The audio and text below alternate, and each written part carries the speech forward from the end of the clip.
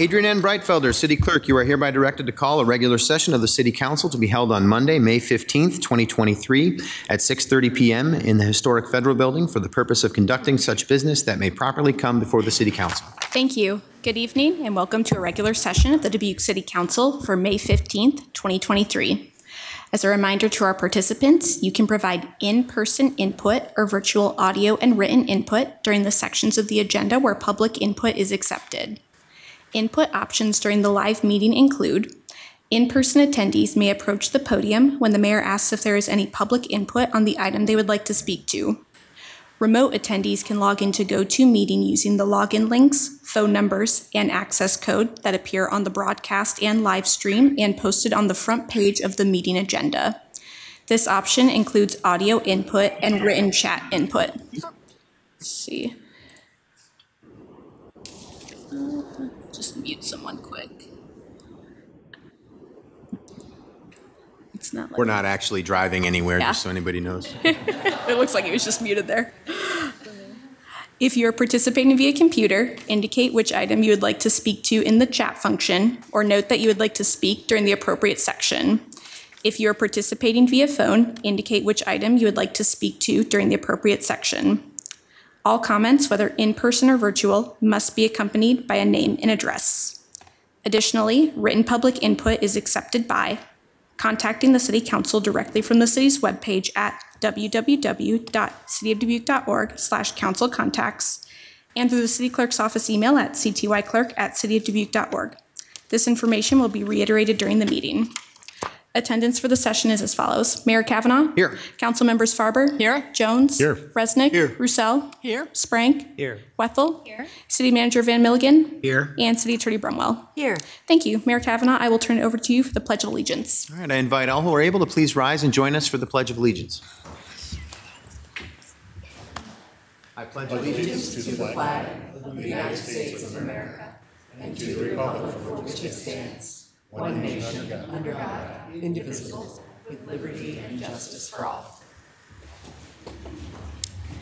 We will move on to presentations. Our first presentation is ICMA YSEALI Fellow Presentation. Good evening. Cori Burbach, I'm the Assistant City Manager, um, and I have the pleasure of doing two really fun presentations tonight.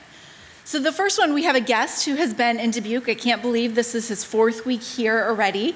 Um, Dr. Do Tun Tung. Did I say that right? Okay, I've been practicing.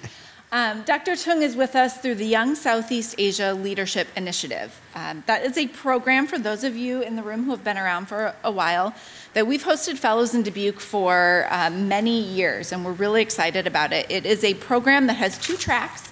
Um, one in governance and one in sustainability, and young leaders from across Southeast Asia come to the United States to learn about those topics and bring what they learn back um, to their communities. So it's a program that is hosted in the United States by the US State Department, and it is managed by the International City Managers Association. So that's why we have the pleasure of hosting fellows here. Um, we have had fellows from all over Southeast Asia come to us through ICMA. We've also hosted fellows from Australia and from, uh, we have both sent staff from Dubuque to the Dominican Republic and had um, visitors from that country as well. Um, so Dr. Tung has been here studying sustainable agriculture for the past three weeks. Uh, we have one more week before he'll go back to Washington, D.C. for a week. Um, we've kept him busy, I think, with a combination of meetings, sometimes with you all or some of the staff in the room, to talk about the policy side of things and talk about uh, why community engagement is so important to sustainability. But then uh, we've been spending a lot of time looking at different scales of agriculture. So everything from some of our community gardens here in the city to visiting some of our neighboring um, farmers, organic farmers who are vendors at our farmers market, to visiting with um, some of the universities across the state to learn about um, practices that uh, Tung can bring back to his country. So Tung, would you like to say anything to council tonight? So good evening, good evening, everyone. So I'm uh, Do Tun Tung. I'm uh, from Vietnam. I'm a lecturer at the Nguyên University of Agriculture and Forestry. So I'm a YSEALI Fellow uh, 2023. Uh, I'm very happy to be here with you tonight, and I have very good time for three weeks. And you know, time flies so fast, so I have only one week to be in the debut. Uh, for the last thing, I think I want to say I'm very happy and thank you so much for the for your hospitality and very uh, friendly and have me like very good uh, experience in debut. Thank you so much. And I believe uh, via all of the awesome technology that we have that Tung's wife and daughter and son might get to see this. So I want to make sure that we say hello to them as well. And thanks for sharing their dad. yes, well, Dr. Tung, thank you very much for being here this, this evening and for being with us in Dubuque for so many weeks. I think uh, all of us, if mo not most of us, have had a chance to uh, sit with you and get to know you a little bit.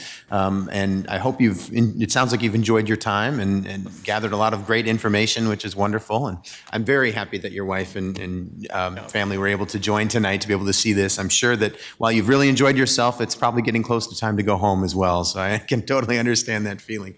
But thank you so much for being here this evening and for being with us. So thank you. And let's all give uh, Dr. Tung a round of applause, please.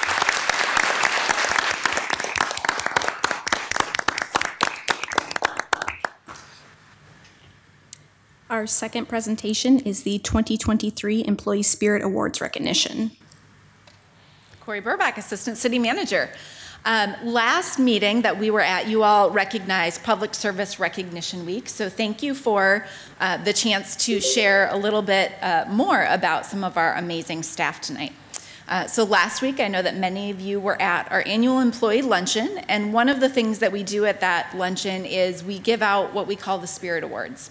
So the Spirit Awards are a program created by our staff to recognize um, each other in the field. Sometimes they see things that might not make it to um, a way of being publicly recognized. So our staff can nominate each other in the values of the Spirit Statement. And Spirit Statement was created by staff to uh, identify the way in which we go about our work. So you all set our mission and vision for us every year and tell us what we're trying to achieve. And Spirit tells us as staff how we go about doing that. So, service, uh, SPIRIT stands for service, people, integrity, responsibility, innovation, and teamwork. That's how we get our work done every day at the City of Dubuque. And uh, we have a committee that reviews the nominations. This year, there were almost 80 nominations. That's 10% of our workforce that was nominated because one of their colleagues saw them doing something amazing in the field. And that number alone is really exciting for me. Um, so we have a number of staff here this evening who were winners last week, and I'd asked them if they would come up um, to the front of the room so that when I read this list of awesome humans, uh, you can see what their faces look like.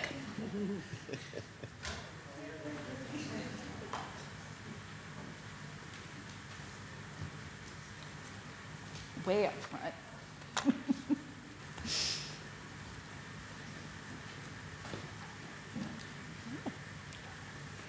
All right, now not everyone was able to be here tonight, so I'm going to give you the full list of winners.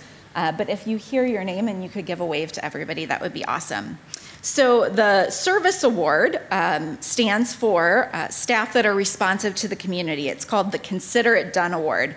And this award this year goes to Steve Fehsal in the Leisure Services Department. The People Award recognizes the way that we care for each other and for the community. And we call this award the highest of the high fives award. The People Award goes to Christina Snyder in the Housing Department. The first I in Spirit stands for integrity, and this goes to an individual who represents honesty in all the work they do. We call it the Constant Contributor Award. And the Integrity Award this year went to Mackenzie Flanagan in the Health Department, and I believe it's her birthday tonight, which is a really good reason to not be here. I think she's out celebrating. R stands for responsibility. We're accountable to the public and each other. And we call this the MacGyver Award, and it goes to Carla Escobar and Lena Barton, Lisa Barton, forgive me, in the Housing Department this year. The second I is the Innovation Award, and this is for um, an individual, and I should say, as you're hearing me um, give these awards, it can go to an individual or a team of folks. Uh, folks have the ability to recognize a group of folks as well. And so these are folks who look for a better way to get the work done. It's called the Big Bang Award, and it goes to Jesse Bernhardt in the Water Department this year. And then T stands for teamwork. We work together every day to get um, our work done, and we call this the Cloud9 Collaborator Award. Um, this year it was a big team, and it is a cross department team, which is really fun to see. So this goes to the group of folks who did all of the work behind the scenes to hire uh, the staff for to, to, be able to open our two pools this year. So a lot of parents and kids are really excited about you all right now. and it goes to Dan Kroger and Jana Bow in Leisure Services, Amanda Kopis and Keisha Doherty in Human Resources, Kristen Hill, Felicia Carner, Kelly Bukana, and Randy Gehl in the Public Information Office. Um, so that's both spirit. You'd think that's the end of my awards, but it's not. Um, the committee came up with uh, another award the first year they developed this program, and we call it um, the Ultimate City Employee Award. So, of all those nominations that come in under different letters, uh, we pick, we say one, but we've said two every year because they're so good and we can't get it down to one. Two awards that we call the Circle of Excellence winners. And those folks are the folks that um, quite often we read the nomination and we say, yes, that's one of the letters, but they're really exemplifying all of the spirit statement. And so we recognize those folks as the best of the best, so to speak. Um, so there are two Circle of Excellence Award winners this year. The first is Jody Lukens in our fire department. Um, and the second is the biggest team we've ever awarded uh, any of our awards to, frankly, but they have done a phenomenal job this year and that is the Public Works team, along with some assists from our GIS department, uh, for the citywide tipper cart rollout. And you all have seen photos and videos and maps and know the numbers behind all of the work. Um, so we have a couple of our Public Works folks here tonight. Um, as part of your packet, you can see the letters that have all those nominations in, as can the public. Um, so I would really encourage you, if you know a city staff person or if you see one on the street, to take a minute and recognize them for Public Service Recognition Week. Particularly, join me in congratulating our spirit winners tonight.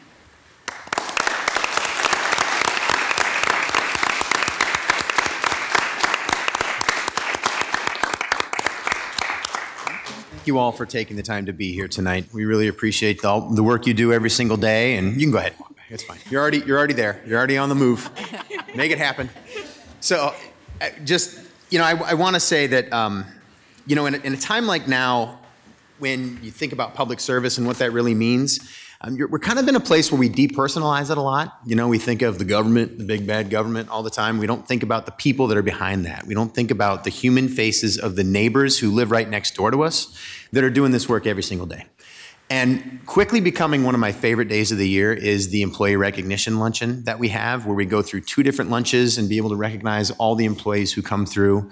And um, for me personally, you know, as a resident of Dubuque, I get to see, and we all get to see, how many people make this happen every single day.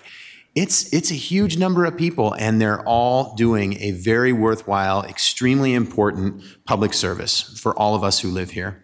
So thank you to every city employee and, and uh, everyone who's, who's there for the, the recognition, all the award winners for the extra work that you've done this year. Uh, we sincerely appreciate it. And we hope that we show that. And we hope that we continue to work as well to collaborate with you as we possibly can, but then also sincerely appreciate it as a resident of this city. It's a very good city that we live in, and thank you very much for making it that way. Adrienne, thank you. We will move on to proclamations. Our first proclamation is Salvation Army Week. All right. Well, Captain David M. Is it Amick? Amick. All right. Got it right. Yes. Captain David Amick is here to accept this proclamation with a, a team from the Salvation Army.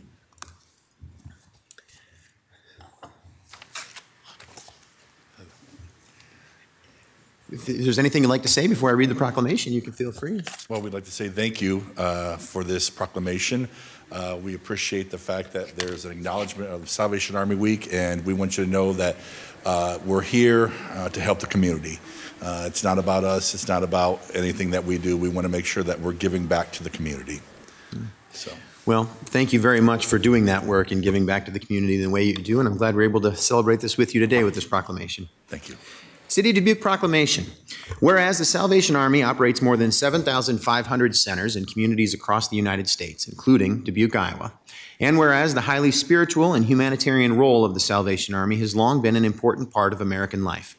And the Salvation Army of Dubuque has served the community for over 135 years. And whereas this week of recognition was first declared by President Dwight D. Eisenhower in 1954, 74 years after the Salvation Army arrived in the U.S., who stated in his proclamation Among Americans, the Salvation Army has long been a symbol of wholehearted dedication to the cause of human brotherhood. Their work has been a constant reminder to us all that each of us is, a na- is neighbor and kin to all Americans, giving freely of themselves. The men and women of the Salvation Army have won the respect of us all.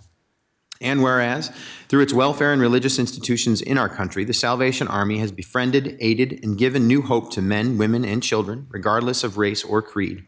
And whereas the Salvation Army of Dubuque provides services to the community through its Client Choice Food Pantry, Mobile Food Pantry, Pantry Garden, senior activities, student activities, summer fan program, book club, Christmas food and toy program for children, church, emergency disaster services, the National Pathway of Hope program, which guides residents to achieve sustainable lives. And whereas the Salvation Army of Dubuque will host a ribbon cutting and pancake breakfast on July 1st at 10 a.m. to celebrate the arrival of its new emergency disaster services vehicle and EDS team to better serve service Dubuque and surrounding communities. Now, therefore, I, Brad M. Cavanagh, Mayor of the City of Dubuque, Iowa, on behalf of the City Council staff and residents of Dubuque, do hereby proclaim the week of May 15th through the 21st, 2023, as Salvation Army Week in the City of Dubuque, Iowa.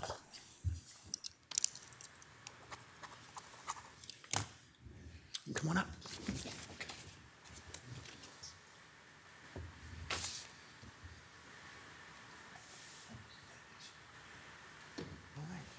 We can give him a hand.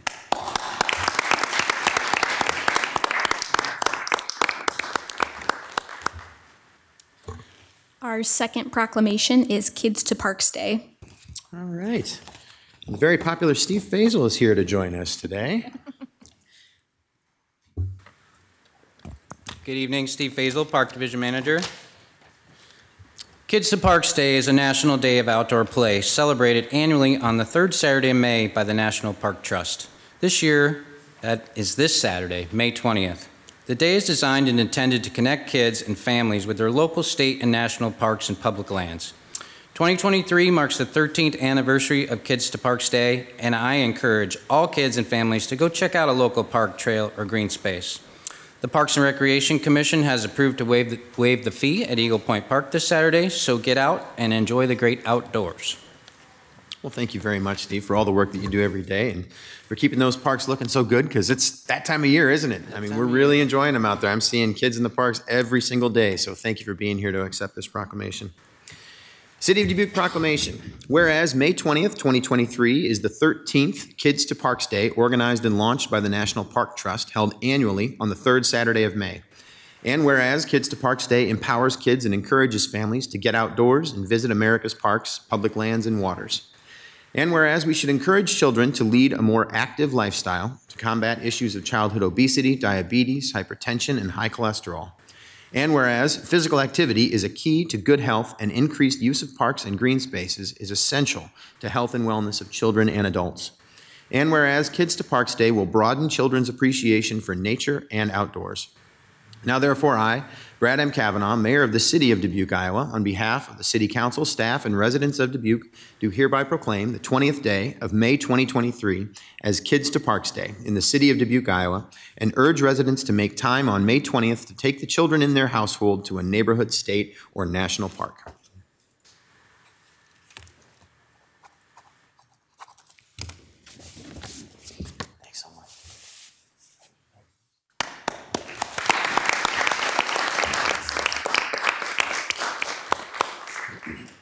Our third proclamation is Public Works Week. The even, well, just as popular Public Works staff, right? Coming up here to accept this proclamation.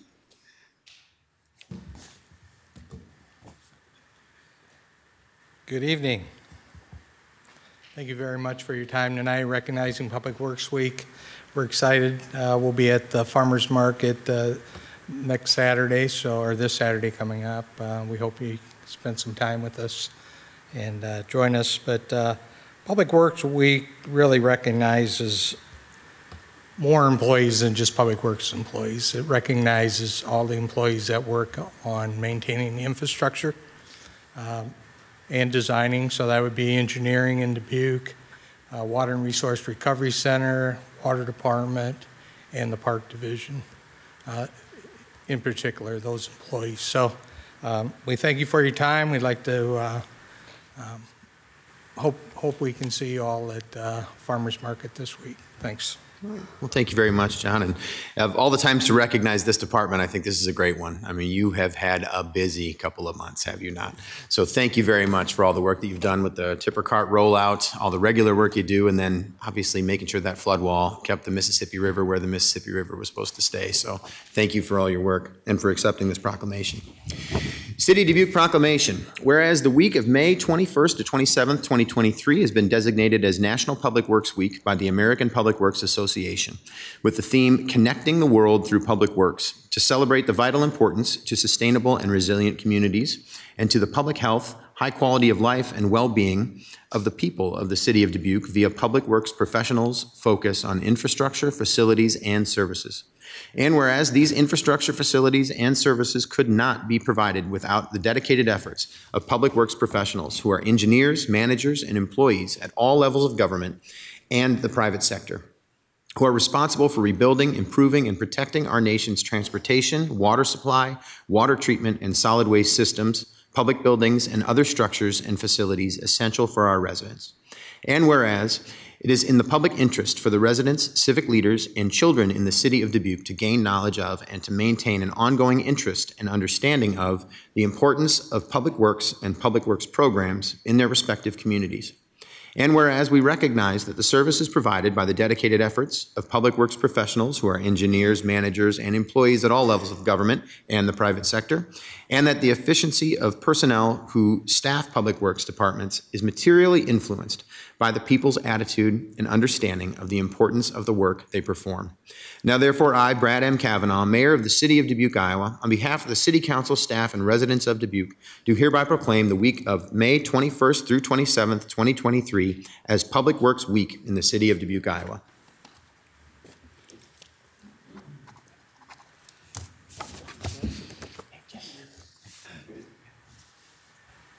Thanks, Ed.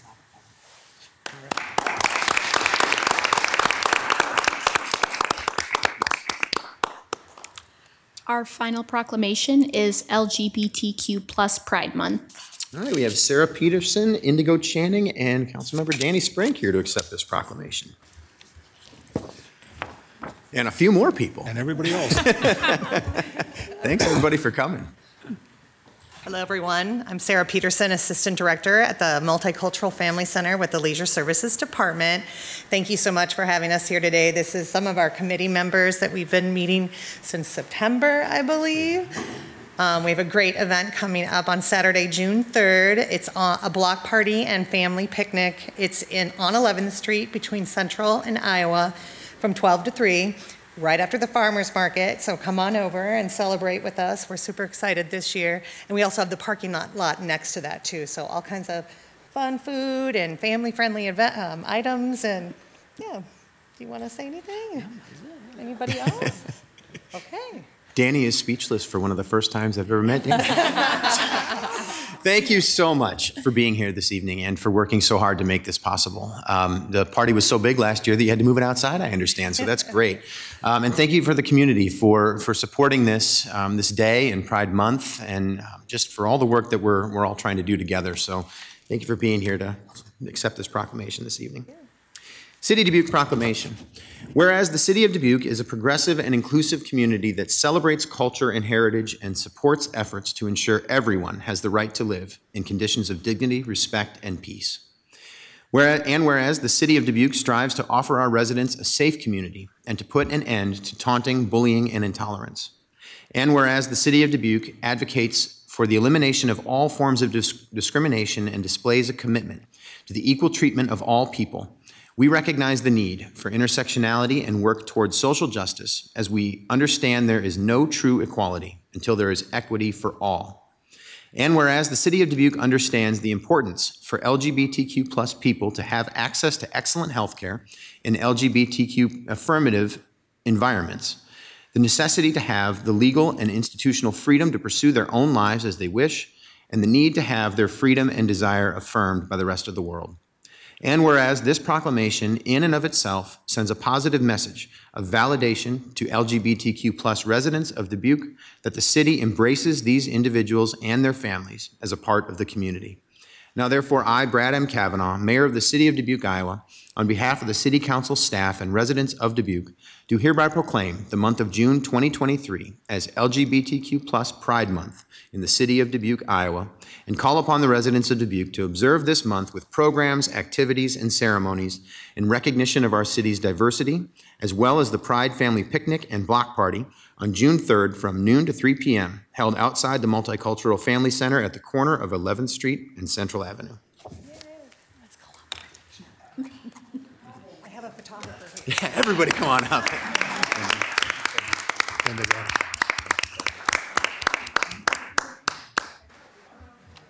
I'm a little taller than everybody, sorry.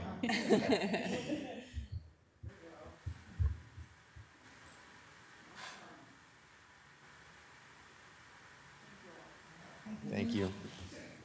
Thank you, Sarah. Thank you, Sarah.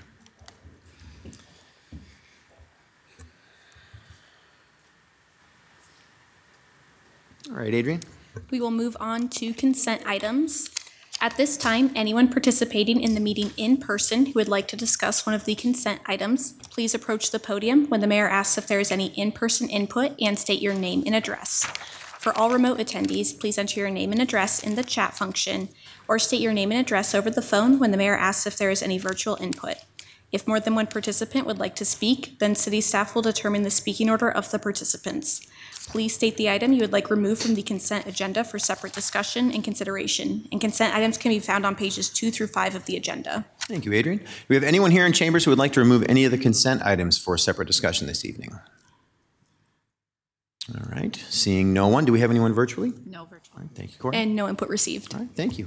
Bring it back to the table. I'd like to actually hold number 18, please, for separate discussion. Any others? Mr. Mayor? Mr. Resnick? Okay, I move to receive and file the documents, adopt the resolutions, and deal with the consent items as recommended, except for number 18. Second. by. Nice try. I got a motion by Resnick, second by Jones. Um, Adrienne, would you call the roll, please? Wethal, Aye. Resnick. Aye. Roussell. Aye. Jones. Aye. Sprank. Aye. Farber. Aye. Cavanagh. Aye. Motion passes 7-0. So on to number 18. So I'm holding this because I wanted to just kind of open a discussion that I think is going to be an ongoing one. So this is a, um, a review of House File 718 and its impact on the city of Dubuque. I first want to say thank you very much to Jenny Larson, our CFO here in Dubuque, for um, being able to, for taking the time to do this and actually taking a look at what this impact is going to be. The reason I wanted to, to hold this is because I want to make sure that we're, um, we're making something clear as we move forward so that as this discussion occurs over time, it's not a surprise to anybody. Um, while I, like anybody else, very much appreciate the idea of being able to have some tax relief regarding property taxes, there's an effect that it's going to have on cities across the entire state. So this House file actually, um, in a number of different ways, is going to impact city budgets over the next few years. Um, and it's been it's been very celebrated. I think it's important that we we try to create tax relief when possible in our state. Um, but one of the things that's been challenging is that um, houses. Uh, property assessments have gone up very high, very fast in the last couple of years, and I think it's been pretty scary for people. I know that um, you know I think uh, I, I speak for most of us when we say that if you if you own a home, you own some property, you've seen those assessments go up. I want to make it clear too that those assessments don't mean that you're automatically going to pay that much more in taxes. There are a lot of mechanisms in place in the state of Iowa already that affect how we pay property taxes and how those taxes are calculated. One of the things that this bill does point out, though, in this analysis that um, Ms. Larson has done for us, it shows that at the very least, right now, we know for a fact that over $400,000 is going to be impacted in our city's budget going forward. And it's probably going to be more than that because there are going to be some, some situations that basically take the rise in property assessments and knock those down a notch or two to uh, make it so cities don't have as much to work with. The reason that this is important that we talk about this out loud is because what that means is we are not going to be able to invest as much in the city of Dubuque as we would like to or as we might need to in years ahead, potentially. And this is going to happen across the state of Iowa as well. So, um, politically, there are a lot of different things that, you know, that are, are thrown back and forth about why these are good or bad ideas. But what I just want to make really clear as we start to talk about this is that this will impact the city of Dubuque's budget, and we need to be ready for it. There's just no way around that. We need to be prepared to know that we're not going to be able to invest as much as we would like to or as that we have in years past. So as we start talking about this from a budgetary standpoint and we start to think about um, what our goals are in August and how we're going to budget for those come February and March, um, this this will have an impact. And and as we have those discussions. I'll keep bringing this up, and I'm guessing that the, the uh, my city council colleagues will as well, uh, because I want to make it really clear that some of these choices are out of our hands at this point. We're not able to do the things that we would really like to be able to do to continue the investment in this great community, um, and and a big reason for that is because of um, what has happened in this bill. So I look forward to, uh, and I want to, I, I see Ms. Farber over here waiting to say something too, but I, I do look forward to continuing to work with our legislators. Our local legislators here have been wonderful in sitting at the table and having discussions with us about the impacts and what this is going to mean for the city of Dubuque, uh, both before and after this bill was passed. I want to make that really clear, and I want to thank them publicly for their work with us. And I look forward to continuing those discussions because I do think that we have some hard ones ahead of us to try and figure out how this is going to impact our city and what it's going to mean for um, what we're able to invest in the future in the things that we really need here. So I just wanted to point that out and uh, make sure that we talk about it and, and start here because I didn't want to just receive and file a bill and just and then the analysis of it and not really have a discussion about it. So thank you very much for that time, Ms. Farber. Yeah, thank you for bringing that up and for the socialization of the importance of uh, this change. Um, and I want to also thank Jenny for all the hard work that she has done. Um, however, I do believe that we may want and think about um, a work session to better understand all of the intricacies and all the nuances of this new bill um, because there's just a lot there to unfold. And I think it would be educational not only for the residents of the city of Dubuque, but also for us as we go through our deliberations. And just was wanted to tee that up as a potential for us to have at some point in time. I agree. I think that's a really good idea, and I know that we're not even close to being done with the analysis yet of everything that this um, this could really uh, impact. I know the Iowa League of Cities is also working on how this is going to impact cities across the state. So as we do that, I do think it would be a good idea that we talk more about it and have a work session as we know more information. Okay, thank you.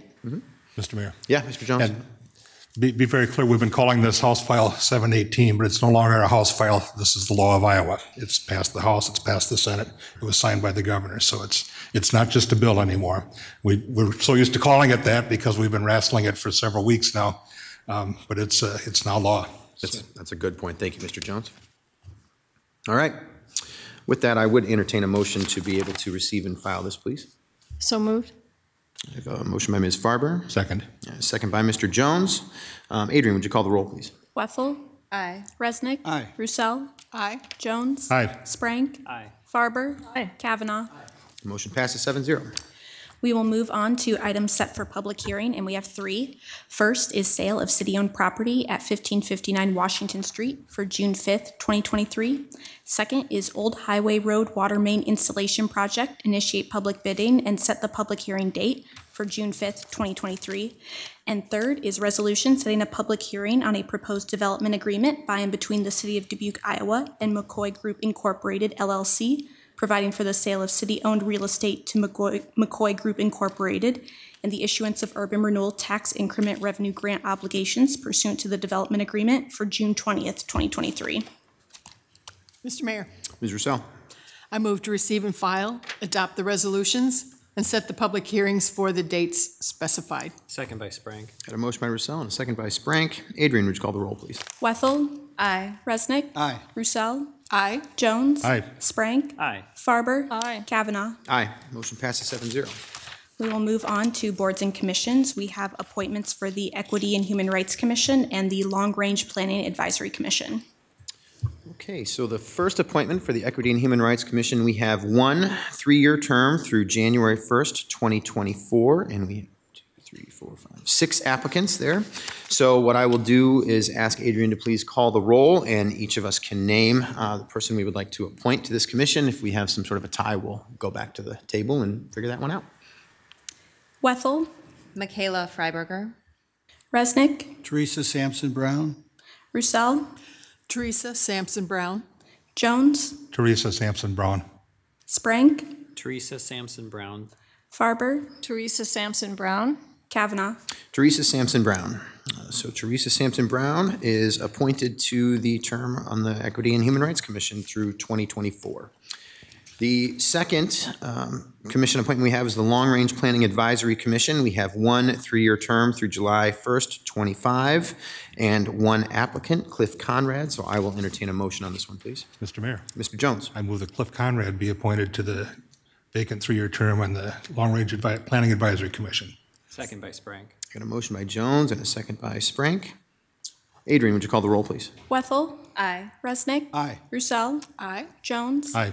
Sprank, Aye. Farber, Aye. Cavanagh. Aye. Motion passes 7-0. Cliff Conrad is appointed to the three-year term through July 1st, 2025 on the Long Range Planning Advisory Commission. We will move on to public hearings. At this time, anyone participating in the meeting in person who would like to discuss one of the public hearing items, please approach the podium when the mayor asks if there is any in-person input for the public hearing you would like to speak to and state your name and address. For all remote attendees, please enter your name and address in the chat function and state your question, or state your name and address over the phone when the mayor asks if there is any virtual input for the public hearing you would like to speak to. If more than one participant would like to speak, then city staff will determine the speaking order of the participants. Public hearing number one is Municipal Services Center EV Charging Stations Project. Mr. Mayor, Ms. Farber. move that we receive and file and adopt the resolution. Second by Roussell. Got a motion by Farber and a second by Roussell. Mike, please. Thank you. City Manager Mike Van Milligen.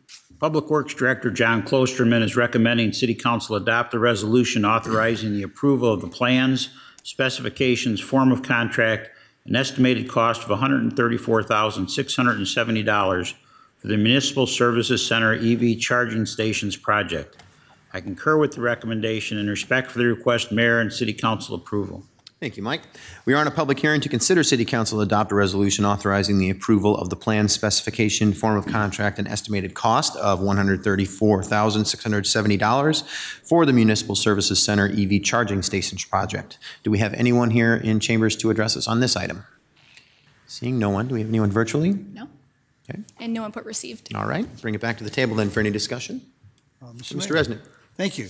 Um, Yes, I read a lot about uh, different uh, charging systems, whether they be, um, you know, uh, the way we're doing it now or in the future. So I'm, I'm hoping that someone maybe could talk to us about what they feel the long, the short-term, mid-term, and long-term prospects of electric vehicles are with all these different options that are being developed. Um, there are some there are some science writers who say that electric vehicles won't be around, but maybe 10 or 15 years, and others think they'll be here for the long term. So I'm just hoping that before we spend over $100,000, that uh, we're we're pretty solid that these uh, electric vehicles are going to be around for a while. It'll be worth the investment. Thank you.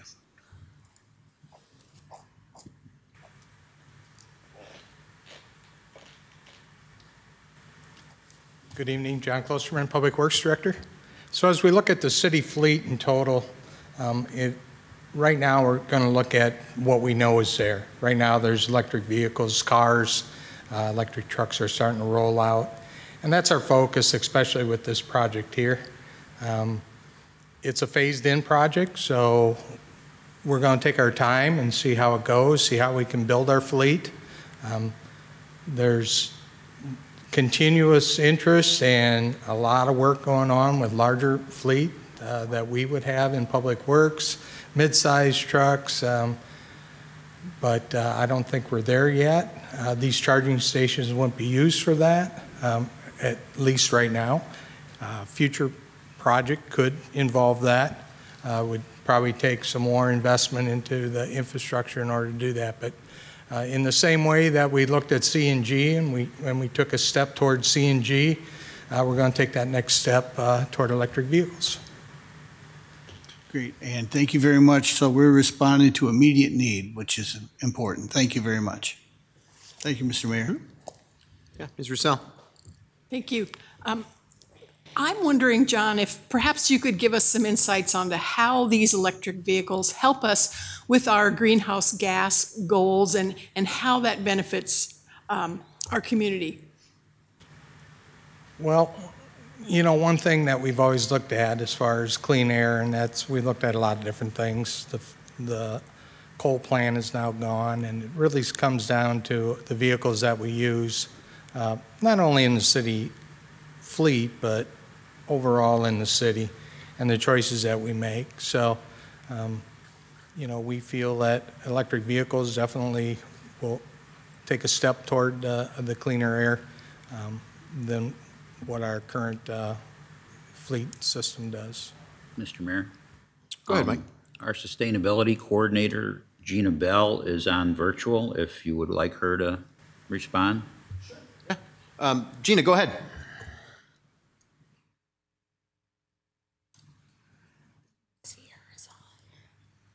Um, Well, maybe she's just texting me and not actually on.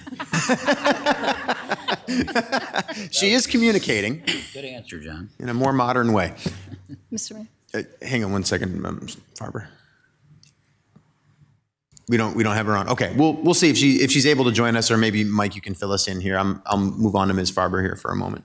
So, Ms. Farber? Just one quick question, and John, we had uh, discussed this previously. You had mentioned that these are going to be um, stations where you could actually um, fuel or fuel or charge, if you will, two cars at the same time, if I remember. Uh, and at one point, we had talked about accessibility for those of us in the public that have electric cars. And are we going to be able to use these? And if so, how would we pay for that usage? Yeah, so right now, these, this project will just be for the city fleet.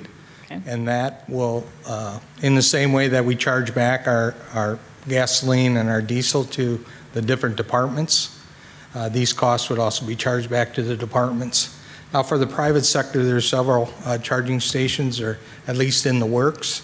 Um, One uh, down in the port area and, and one possibly even at, at this facility. So those projects are, are still being drawn up and, and other locations are also being looked at. So um, more to come. Okay, thank you for that. I look forward to the more to come. Thank you. And Ms. Roussell, I apologize. Did you, did you have anything else? I stole the floor from you and gave it to Ms. Farber, but do you have anything else that you wanted to ask? Well, I, I just think it's important for our community to know that um, there are additional benefits of, of adding electric vehicles to our fleet that help us achieve our climate action goals um, that maybe aren't, you know, readily apparent when you're just looking at, at a particular cost. But uh, I think, I think it's just important to keep that in mind. Thank you, Ms. Roussell. Gina Bell is on now. Gina Bell's on now. Okay. Uh, Gina, we're, we're ready for you. Hi, Gina Bell, Sustainability Coordinator. My apologies for my technical difficulties. That's okay. Um, so I just want to say that you've you've covered a lot of what we've talked about in the climate action plan. We want clean air, we want to reduce our greenhouse gases. We've set the goal, not only the overarching goal to reduce our greenhouse gases by 50%, but also we have a goal of 50% of electric vehicles within our city fleet by 2030 and um, also support and encourage alternative fuel vehicles. Um, and then we have community wide goals as well. And all of that will help us greatly reduce our greenhouse gases, um, but then also those co benefits that uh, Councilwoman Roussell is talking about in terms of clean air. And um, also, we want to encourage active transportation. And so it's all interconnected in what we're doing and the different efforts that we're putting forth. And this is one part of all of that. Thank you very much, Gina, for adding all that. Mr. Mayor, Yes, Mr. Jones. I, I own a plug-in hybrid electric vehicle, and I drive it around all day and do all my local errands on the electricity that I put into it overnight the night before. If I want to point it to Chicago or Des Moines, I steer it that direction and burn some gas, and away we go. And it, uh, it's, it's by far the most efficient combination of things I've ever owned. When you look at the city fleet mission, it's mostly local running. Um, It's short trips around town. Um, It's a perfect, and it's a vehicle that's probably parked most of the night. It's a perfect uh, place for an electric vehicle. And uh, I appreciate the modesty of this proposal. We're looking at four stations. Um, We're looking at some vehicles. We're going to learn what's going on. And- And everybody that's brought this up is right. There's a lot of technology brewing out there. I, my personal belief uh, from my research is that hydrogen fuel cells are probably going to be the answer. But how quickly we can get to, to that answer is, is, uh, is still an unknown.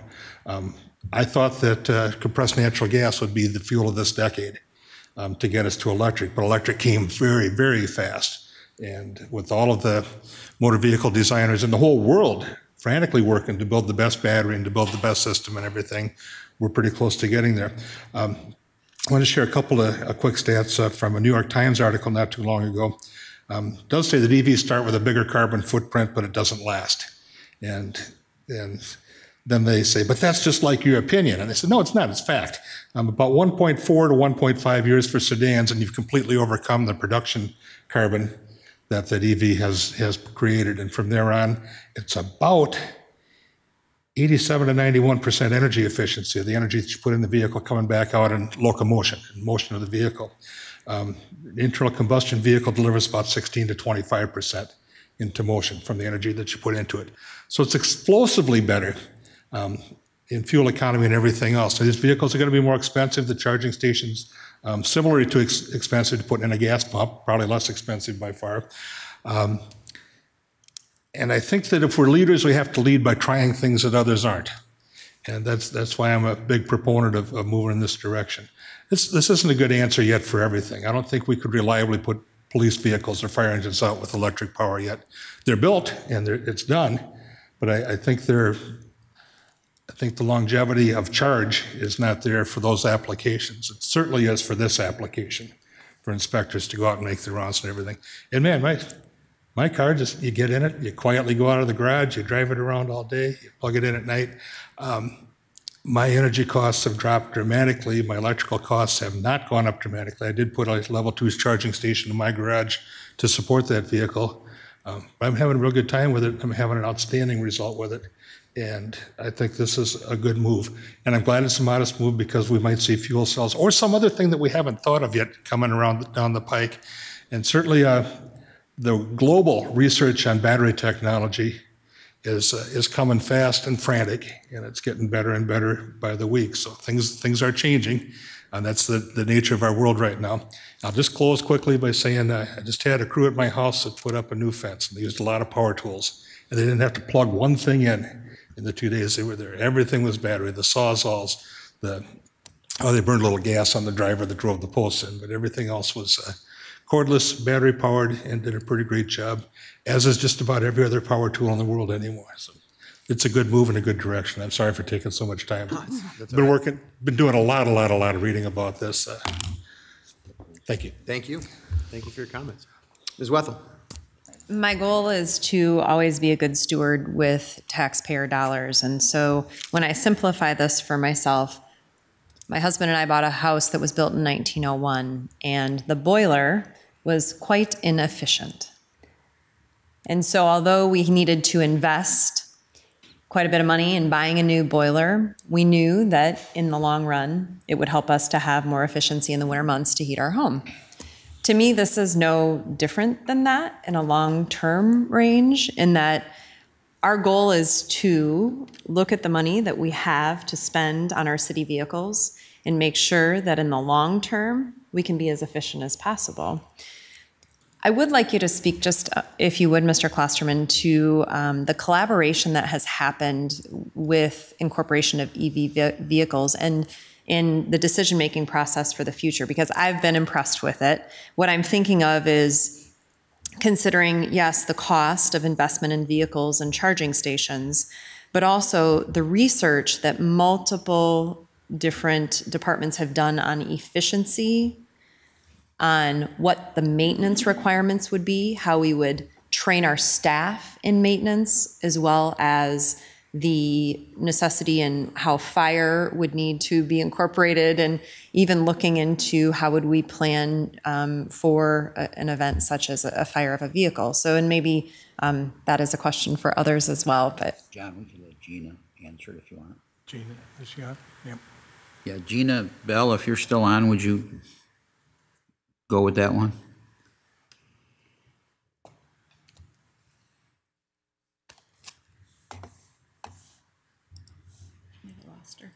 Okay. She, we, I think we lost her, sorry. Loser, okay.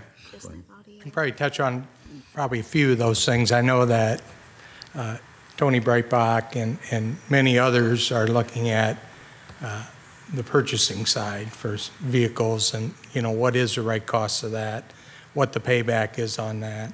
Um, On the training side for our, our fleet uh, technicians, which are Public Works employees, uh, Tom Keel has looked into that and what's the next step on that. It's hard to train on something until we have something uh, in place, but uh, in the same way, that's the same staff that, you know, researched and got the tools they needed and the training they needed to handle the CNG conversion that we have on a couple of trucks. Uh, I have full confidence that we'll do the same pattern and do the same thing to train those employees on electrical uh, vehicles. And I can tell you that our sustainability coordinator, Gina Bell, has led a, a citywide effort to research the, uh, the benefits of making this move and beginning this transition. And the mayor and city council made a major policy decision through last year's budget process, and that was to give carbon a value. Um, so uh, we do have a, goal uh, to reduce our carbon footprint uh, 50% by 2030. And that does have an economic impact, uh, but so does the carbon. And so uh, the council agreed through last year's budget process to give that carbon a value so that as we do our life cycle cost of our vehicles, that that, that is taken into consideration. And so I, I feel comfortable that we're doing the right research, we're finding out the right information, and we're also implementing this in a responsible way. Mr. Mayor? Mr. Jones? If I could just speak for a second to, to the fire risk. Um, It is substantial. A- An electric vehicle battery fire is, is a lot of fire. Um, A full gas tank can make a lot of fire as well. Um, But the incidence is a little bit overreported. Um, It's a big deal when someone's Tesla burns down their house because it, it caught fire in the garage. It's, it's widely reported. Everybody hears about it. And everybody says, boy, Teslas, Teslas go up like birthday cakes. But it's simply, another thing, it's just not true. About 1,530 incidents per 100,000 internal combustion vehicles catch fire each year. And only about 25 fires per 100,000 electric vehicles per year. So substantially less fire risk, but a more intense fire if you, and, and localized fire if you get one. Um, it's kind of like, uh, like the pit bull question. Pit bulls get bad press. Every time they eat a kid, it's in the paper. But more Labrador retrievers bite people than, than any other dog because guess what? There's more of them. Um, mine hasn't bit me yet. Thank you, Mr. Jones. So I'll just, I'll just add my piece to this too. Um, and I want to begin by saying that I'm still upset that my car doesn't fly because Back to the Future told us that was going to happen in 2015 and it just never happened. So that is upsetting to me. However, um, we, we have been over the decades a leader on this, um, in, in this issue, on sustainability and uh, making sure that, you know, we had a, um, a greenhouse gas reduction plan, a climate action plan. This council has made the climate action plan implementation a high priority for, or one of the hi- higher top priorities for this year. Um, but frankly speaking, we're behind on this one. Uh, you know, I'm going to conferences at the university or the um, United States Conference of Mayors and National League of Cities. The coasts are way ahead of the Midwest on this, and large cities are way ahead of small cities on this. We're getting some assistance from the federal government to be able to implement this and have the finances to do it. Uh, but if we want to talk about where we're at as term, in terms of a leader, we're not in first place on this one. We need to catch up. And I would like us to see, I'd like to see us invest even more than this, but I completely understand that this is what we are able to do right now. Uh, because this type of infrastructure is a partnership. We can't build this electrical infrastructure ourselves in the city. We have to work with our uh, electric provider. We have to work with our, our county. We have to work with our community, our state, everybody to do this. But I'd like to see us push ahead. As you know, as Mr. Jones said, if we want to be a leader, we need to lead. And, and I think on this issue, we need to do it. We've made this a priority. I think we need to go. And I'm hoping that we can go even faster as we go through this process. I do think we're going to see cost savings over time. I do think that we're going to see major environmental benefits over time. And the technology is going to catch up. You can't just depend on, you know, waiting for the technology to be exactly where you want it to be before you start to say go and start to build out this infrastructure. The technology is catching up, but it's it's taken a little while. But we're we're going to get there. Uh, car companies are moving in this place. It's time to go. So I'm really glad that we're doing this. I'm looking forward to, to voting for it. I know we've been laying the groundwork for this for a long time. Um, we did make that policy decision on uh, measuring the, the cost of carbon, and that's a, a part of all of this. And also our decision to make more of the fleet electric over time, um, not just within the, you know, the, the Public Works Department, but all the departments. So hopefully we can keep moving that direction as the technology allows us to do so. But I do think, you know, the last thing I want to uh, point out is our main barriers here are not logistical, they're political.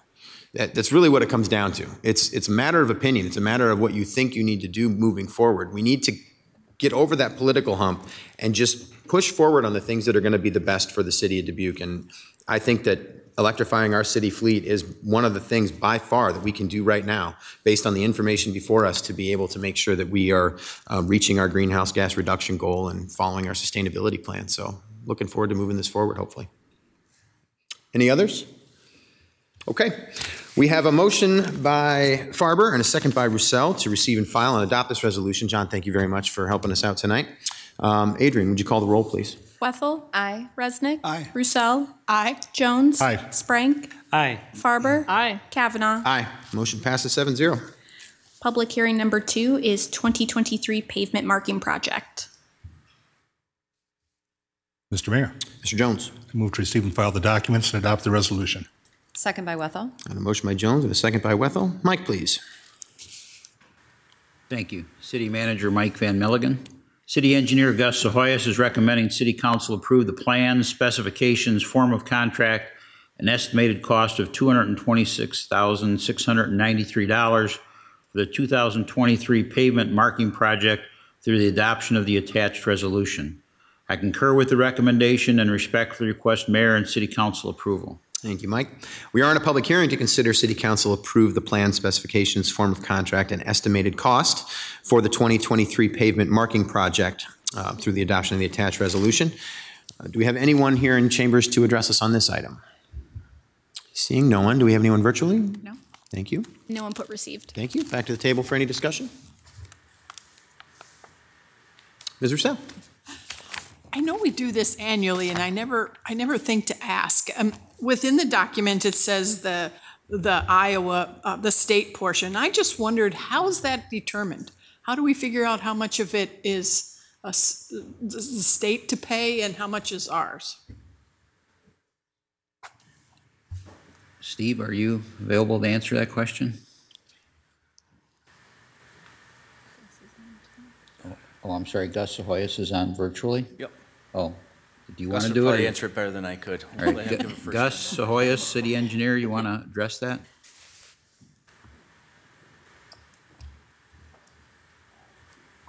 I'm gonna see, he might be, there's someone labeled here as caller number one. No, it doesn't look like I can unmute him. It just says keep muted. Steve, you want to give it another go?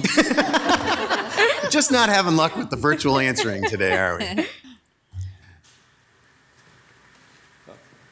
Steve Sampson Brown, project manager with the engineering department. So I can't give the exact uh, funding split, but generally the, the funds come from the road use tax fund through the state of Iowa. So generally there's a formula in place. I don't know the exact formula. I apologize. We can follow up with that tomorrow with additional information. Gus would know it if he's able to, but generally that's how it comes. So we do a local match and then we get uh, state funds. Thank you. So it's formula driven. That's that answer your question then, Ms. Roussell? Mhm, Okay. mhm. All right. Any others? All right. Motion is to receive and file, adopt the resolution. Adrienne, would you call the roll, please? Wethal. Aye. Resnick. Aye. Roussell. Aye. Jones. Aye. Sprank. Aye. Farber. Aye. Cavanagh. Aye. Motion passes seven zero. Public hearing number three is public hearing for sale of city-owned property at 590 Clark Drive. Mr. Mayor, Mr. Resnick. I move to receive and file and adopt the resolutions. Second. Motion by Resnick, second by Jones. Mike, please. Thank you. City Manager Mike Van Milligen.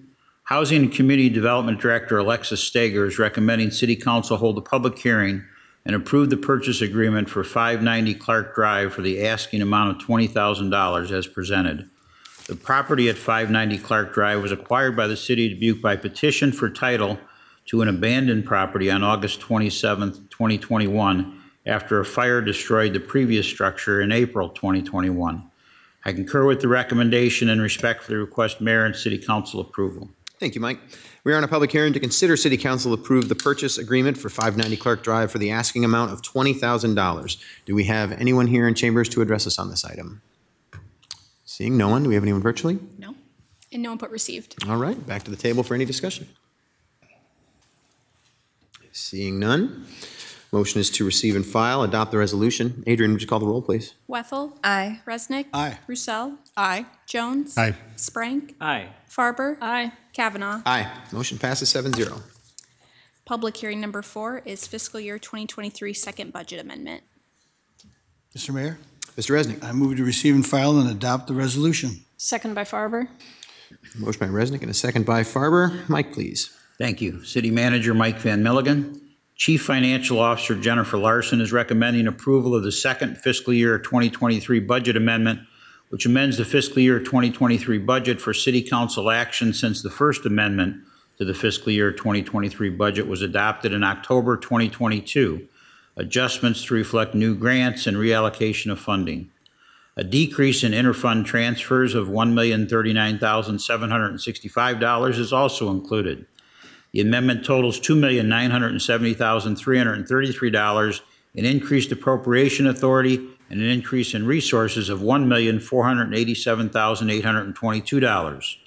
Additional revenues added in this amendment with offsetting appropriations are 14th Street Overpass Federal Grant of $2,280,000, the DRA private contribution for 14th Street Overpass, $750,000, Schmidt Island Trail Federal Grant for $615,000, Airport Construct Solar PV System Federal Grant for $306,543, the AmeriCorps grants for $51,974, and related private participation of $27,657.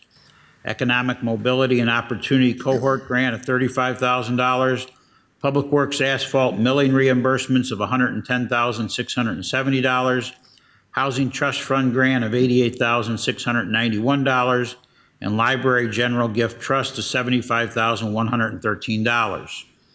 Reduced revenues reflected in this amendment with offsetting reductions in appropriations include US 52 Central Traffic Implementation State Grants of of $143,810, reduced to actual housing choice vouchers of $439,795, reduced to actual new downtown ramp bond proceeds of $2,186,822 with the project delayed. This amendment includes an increase of $344,248 for Community Development Block Grant or CDBG-related programs. The increase in CDBG programs include Lincoln Elementary Wellness Program for $148,708, vacant abandoned buildings for $359, Housing Administration for $69,220, low and moderate income parks for $30,306, and aquaponic grants for $95,655. Decreases in CDBG programs include the target area for $1,963, property rehab for $121,176, housing grants for $16,649, low and moderate income park equipment for $148,709, Central Avenue corridor for $20,252, purchase, resale, and rehab $3,875, credit repair loans for $100,001, broadband for $100,000, IEDA St. John's $244,787, and City Manager's Office for $80,000. This amendment also includes $152,425 in Community Development Block Grant CARES Act funds for Four Mounds Build Dubuque grants. In addition, this amendment corrects the budget for the sewer CCTV inspection, Force Main Air Release Project, and Cedar Terminal assessments by adding the expenditure appropriation budget to offset the state revolving fund loan revenue budget of $1,247,303. I concur with the recommendation and respectfully request mayor and city council approval. Thank you, Mike. We are in a public hearing to consider City Council approval of the second fiscal year 2023 budget amendment. Do we have anyone in chambers to address us on this item? I see no one. Any virtual? No. Thank you. No input received. Thank you. We have any discussion? Okay. Seeing none, the motion is to receive and file, adopt this resolution. Adrienne, would you call the roll, please? Wethal? Aye. Resnick. Aye. Roussell. Aye. Jones. Aye. Sprank. Aye. Farber. Aye. Cavanagh. Aye. Motion passes seven zero. We will move on to public input. At this time, anyone participating in the meeting may address the city council on the action items on the agenda or on matters under the control of the city council. For all in-person attendees, please approach the podium and state your name and address when the mayor asks if there is any in-person input. For all remote attendees, please enter your name and address in the chat function or state your name and address over the phone when the mayor asks if there is any virtual input. If more than one participant would like to speak, then city staff will determine the speaking order of the participants. Individual remarks are limited to five minutes, and the overall public input period is limited to 30 minutes. Under the Iowa Open Meetings Law, the City Council can take no formal action on comments given during public input or that do not relate to the action items on the agenda. Thank you, Adrienne. We have any public input this evening?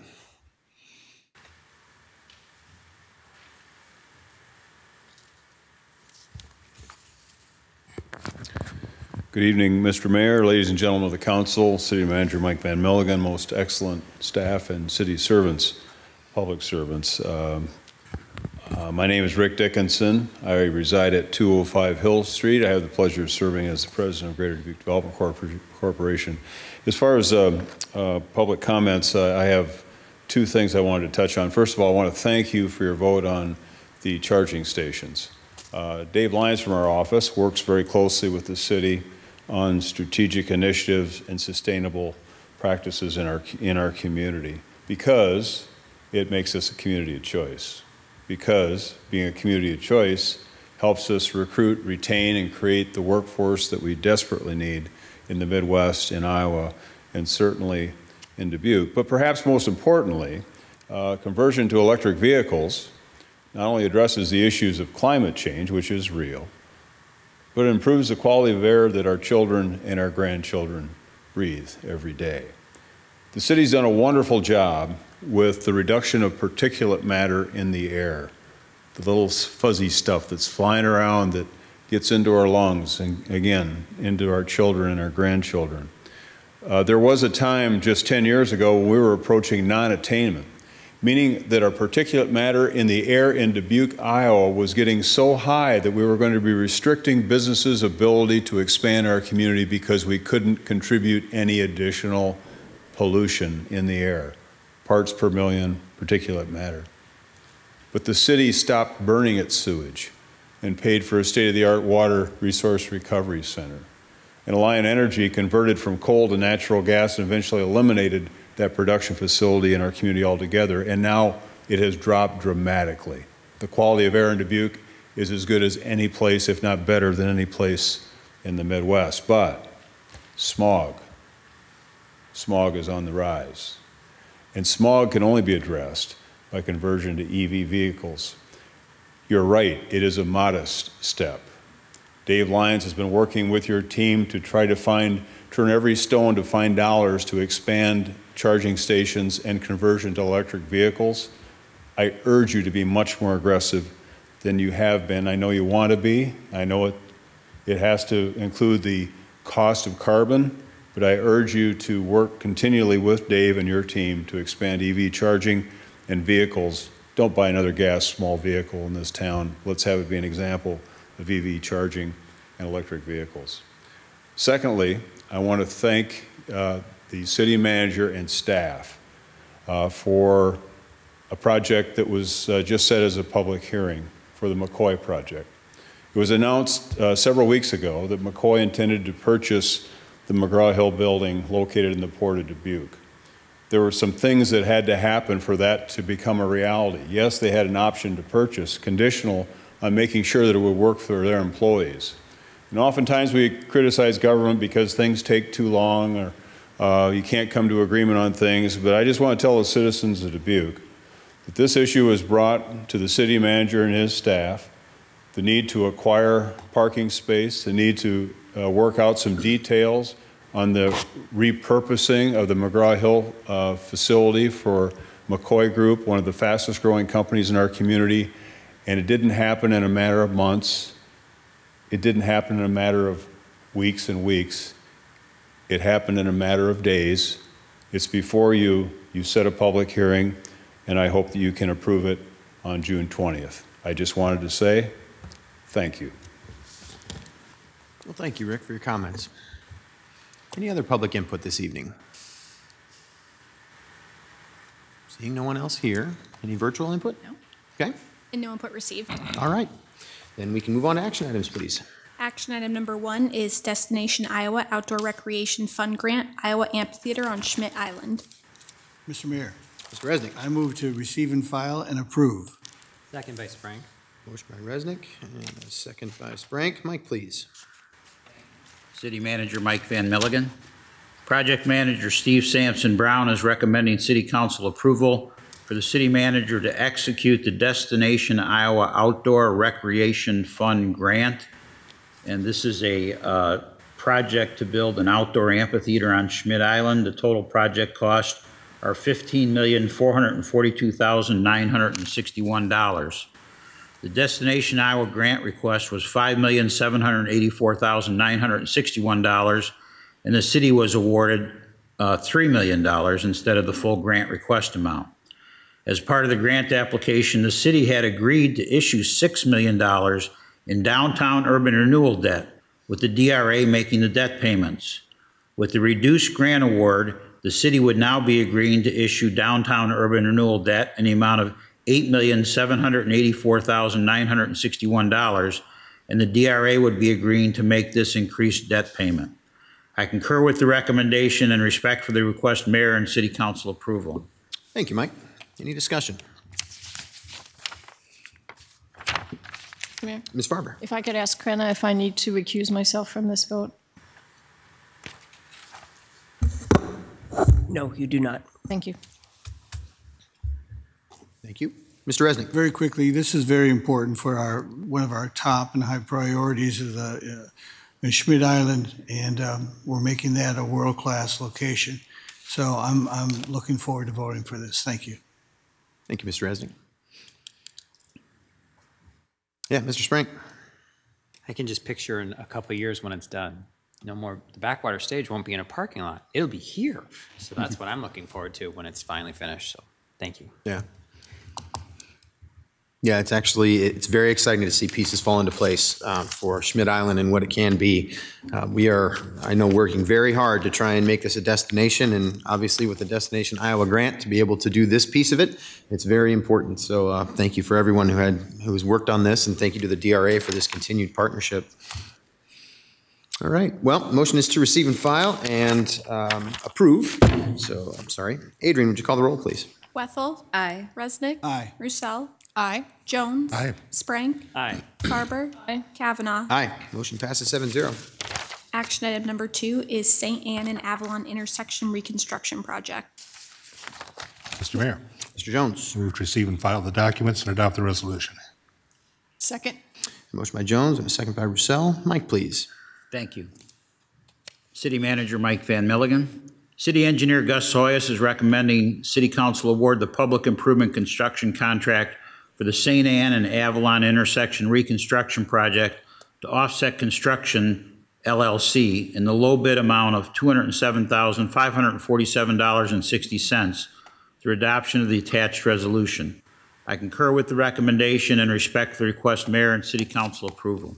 Thank you, Mike. Any discussion? I see none. Motion is to receive and file and adopt the resolution. Adrienne, would you call the roll, please? Wethal. Aye. Resnick. Aye. Roussell. Aye. Jones. Aye. Sprank. Aye. Farber. Aye. Cavanagh. Aye. Motion passes seven zero. Action item number three is proposed amendment to the 2020 National Electrical Code.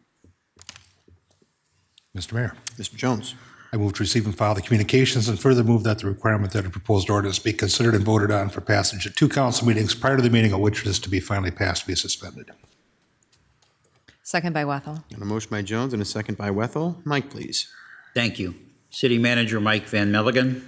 Assistant Housing Director Michael Belmont is recommending City Council approval of amendments to the City of Dubuque Code of Ordinances, Title 14, Building and Development, Chapter 1, Building Codes. The National Electric Code, or NEC, is a model code which covers electrical installations for both residential and commercial construction. The proposed revisions to Section 334.10 would allow NM cable, or Romex, to be installed in multifamily residential construction above the second floor in certain types of construction. This aligns with the unamended National Electrical Code. After staff review of the codes was completed, the proposed amendments were brought to the Building Code Advisory and Appeal Board for review and input. The Building Code Advisory and Appeal Board is a seven-member board tasked with reviewing proposed code adoptions for recommendation to the City Council. On May 11, 2023, the Building Code Advisory and Appeal Board held a special meeting virtually and voted to recommend approval of the proposed changes with no additional comments. I concur with the recommendation and respectfully request Mayor and City Council approval. Thank you, Mike. Any discussion? Mr. Resnick. Uh, Thank you very much. So uh, the- our next item, it talks about an international code. And so I'm just wondering, we have the National Electrical Code and we have the International Code, and, and there's some differences in that. And uh, did you, what you talked about in your memo uh, about the, uh, about that specific type of wire being uh, used above the second floor, is that the difference? Or uh, are the codes different uh, and does it, is it uh, different that matters or not really? I, I appreciate the input that our uh, committee gave us. But I was just wondering, sometimes we, we cite one code and sometimes we cite another. And I guess I, um, there's no reason to be consistent with the codes.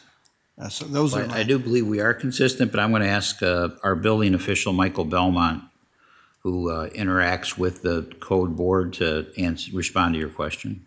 Uh, Assistant Director Mike Belmont, Assistant Director of the Housing Department. Uh, To answer that question, the, uh, the international codes is a series of codes that has everything except for the electrical. The electrical, electrical code is the NEC code. uh, That's a national standard. Everybody uses that. Uh, The international codes does not have an electrical version of the codes. So our, what we're using right now is not compliant with the national code? No, so we, we have been using the uh, NEC or National Electrical Code for many years. And in fact, the- in 2021, we adopted the 2020 NEC.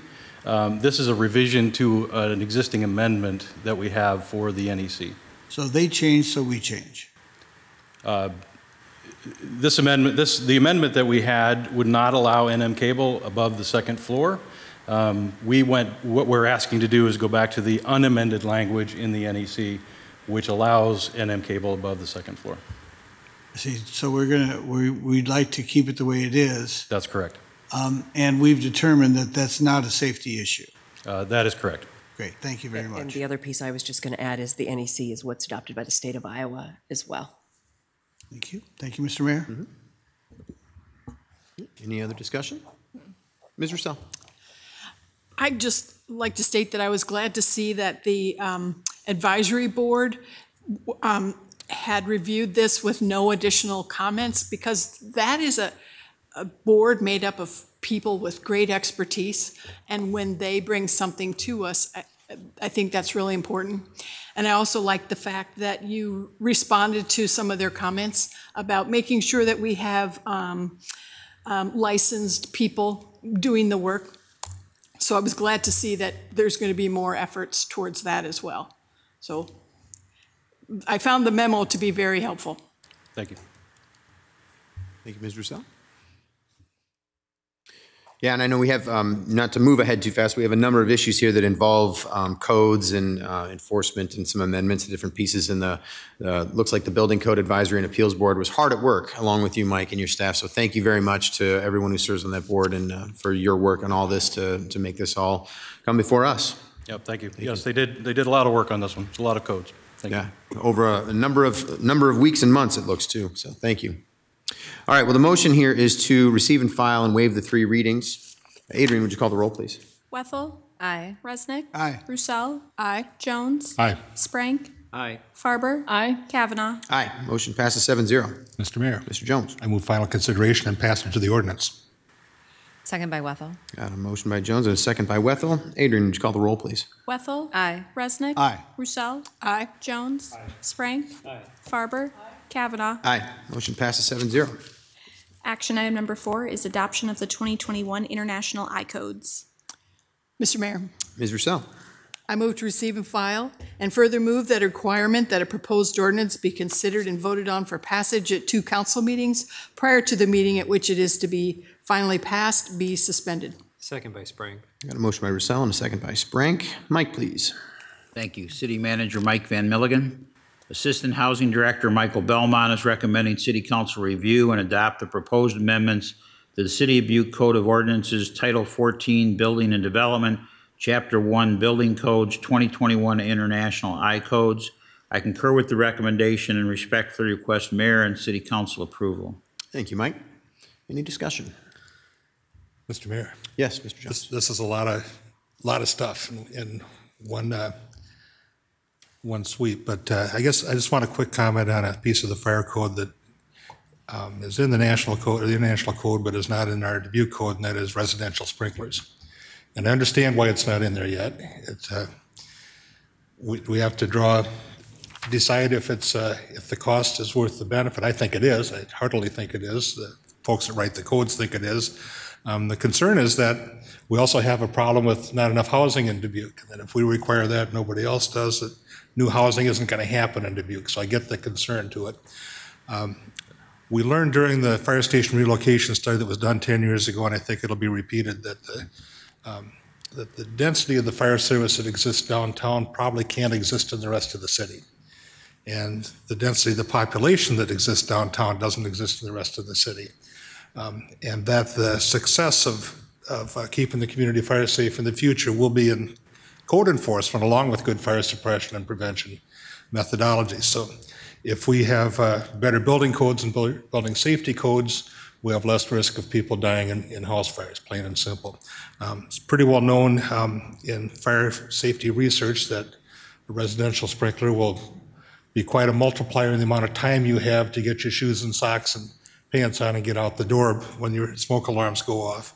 Um, it's not like you see in the movies where a sprinkler goes off and the whole building is flooded. Um, they're local. The sprinkler under the fire goes, or above the fire goes off. Um, it's kind of dirty water. It makes a mess, but it puts the fire out. It keeps you from getting killed.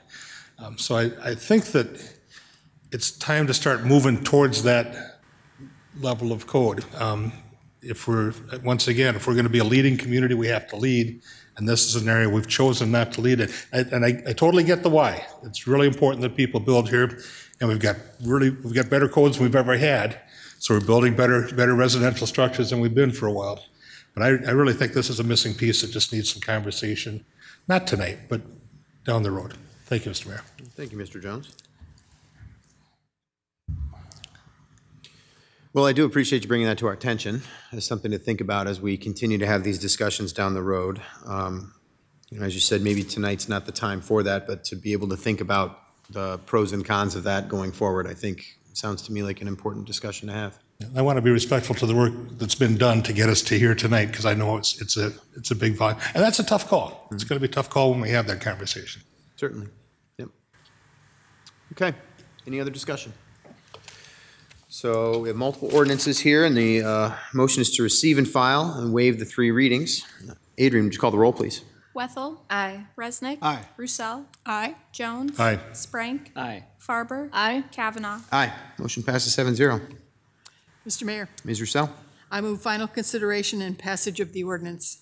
Second by Sprank. Got a motion by Roussell and a second by Sprank. Adrienne, would you call the roll, please? Wethal. Aye. Resnick. Aye. Roussell. Aye. Jones. Aye. Sprank. Aye. Farber. Aye. Cavanagh. Aye. Motion passes seven zero.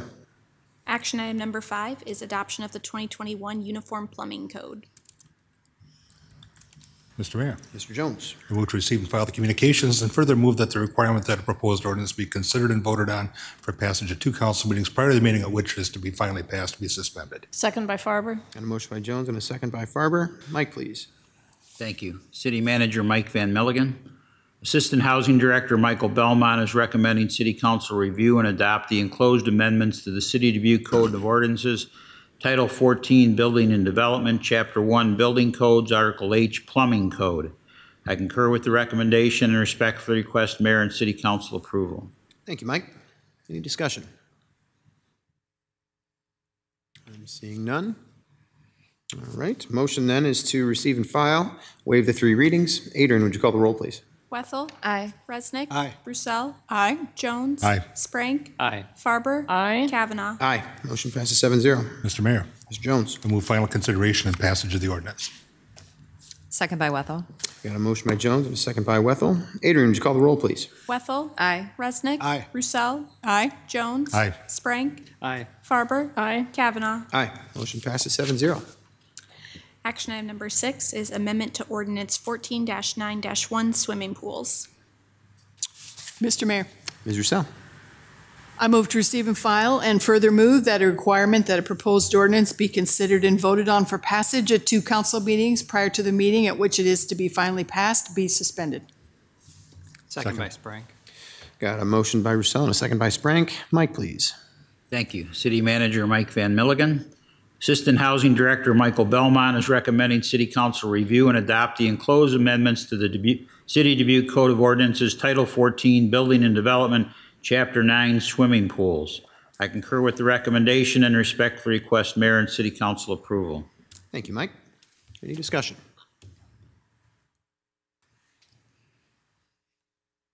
I do feel the need to ask a clarifying question on this one. So this, this appears to be a, a- a m- a minuscule but very important language shift is what I'm seeing. Is that, is that correct? So, Mike, if you wouldn't mind addressing that for us, just, it, it sounds like there's a, just maybe one or two words that have been changed in this code to, to clarify things a little more. Uh, Mike Belmont, Assistant Housing Director. Director. Yes, that, that's correct. Um, That one word, capable of containing 24 inches, is important um, because we did have, we did have someone approach us with the definition as written and say, hey, if I drain my pool to 24 inches or less, then it's not a pool anymore. And, uh, you know, that's, that's obviously a potential safety hazard, and uh, that's not something that we want to, uh, to allow. And it also aligns the, the language in the IPMC with the ordinance language definition of pool. Thank you. Once again, I appreciate people reviewing this so often, so we're making sure that we get these things right, because language is important in cases like this, so thank you. Thank you. All right. Motion then is to receive and file and waive the three readings. Adrienne, would you call the roll, please? Wethal. Aye. Resnick. Aye. Roussell. Aye. Jones. Aye. Sprank. Aye. Farber. Aye. Cavanagh. Motion passes 7-0. Mr. Mayor, Ms. Roussell. I move final consideration and passage of the ordinance. Second by Sprank. Motion by Roussell and a second by Sprank. Adrienne, would you call the roll, please? Wethal. Aye. Resnick. Aye. Roussell. Aye. Jones. Aye. Sprank. Aye. Farber. Aye. Cavanagh. Aye. Motion passes 7-0. We'll move on to council member reports. Any reports this evening? Mr. Mayor, Mr. Jones. next week on Monday and Tuesday, there are honor flights that leave and return to Dubuque. And uh, folks are invited to come to the airport um, both of those evenings to welcome these heroes home. Um, So you have to be at the airport at 9 o'clock for a security and safety briefing, and the flights arrive at about 10 o'clock PM. But both Monday and Tuesday, there'll be groups of Dubuque Dubuque heroes returning home um, from a pretty intense day. And be kind of cool if some council members could be there to, to help shake their hands. There'll be a lot of people there. It's a big deal. Thank you very much, Mr. Jones. Appreciate that. Any other reports? Anybody listening, by the way, that's not limited to us. If you're listening to this thing and you want to come out there, please come out there. Anybody can go. Thank you. Well, the only thing I would say is that if you haven't been to the farmer's market yet, I think you're the only person in Dubuque. Because the last two weeks have been absolutely packed. So it, you know what's great though, is to see people getting out and really enjoying each other in, in the community in this way. Um, Saturday morning, farmer's market, we had night market last Thursday. It was absolutely packed with people. Uh, Saw a number of you down there and just, really have enjoyed seeing everybody. So I hope that, um, I'm excited that the weather's here. We're getting out into the community and doing some more fun stuff, but uh, go out and enjoy some of those events out there. All right, well, I see we have a closed session. Mr. Mayor. Mr. Jones. I move that the council go into closed session in accordance with Chapter 21.5 of the Code of Iowa to discuss pending litigation and purchase or sale of real estate. Second? Got a motion by Jones and a second by Resnick. Uh, For the record, the attorney the city council will consult with on the issues to be discussed in closed session is City Attorney Crenna Brumwell. Um, Adrienne, would you call the roll, please? Wethal. Aye. Resnick. Aye. Roussell. Aye. Jones. Aye. Sprank. Aye. Farber. Aye. Cavanagh. Aye. Motion passes seven zero. We are in closed session.